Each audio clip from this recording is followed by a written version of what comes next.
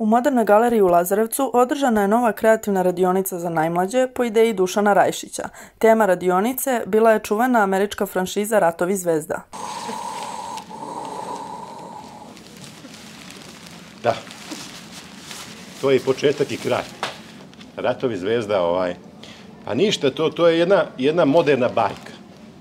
I kako deci da dočaraš likovnu kulturu nego kroz bajku u stvari kroz jednu filmsku bajku, ovaj, gdje postoje znači i baba roge, i dobro i zlo, ovaj, ali puno predivnih kostima, maski i svega ostalog.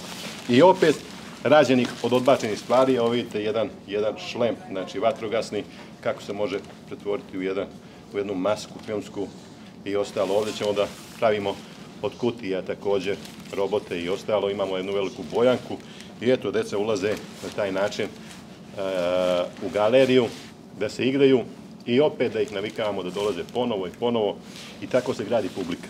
Tokom radionice, mališani su uživali u kreativnim poduhvatima, a i oda u galeriji zamišljen je u cilju da se mališani upoznaju sa kultnim ostvarenjem 70. A danas sam zamislio to da se družimo, da putujemo filmom, ovaj, da pravimo kostime, da te kostime nose u vrtić, da tamo nastavljaju taj rad, da se druže, da pričaju roditeljima i tako dalje. E, uvijek je to ista stvar, nema kod mene novina.